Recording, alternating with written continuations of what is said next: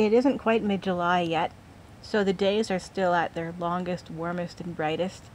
Although they could get a lot warmer in August though, because sometimes we get some pretty sweltering heat in August and early September. But right now, the days are at their brightest and their longest when it's not raining. And for once, it's not raining. But I can't be out here too much longer because the mosquitoes are starting to come out.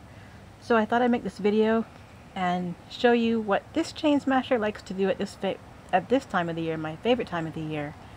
And that is to just chill out outside in the beautiful evening. Look at that beautiful dusk. And uh, there's no wind. It's just gorgeous out here. So enjoy it with me. I'm not going to say much more. I'm just going to be quiet and run this video for a little bit longer. You can enjoy the summer dusk with me.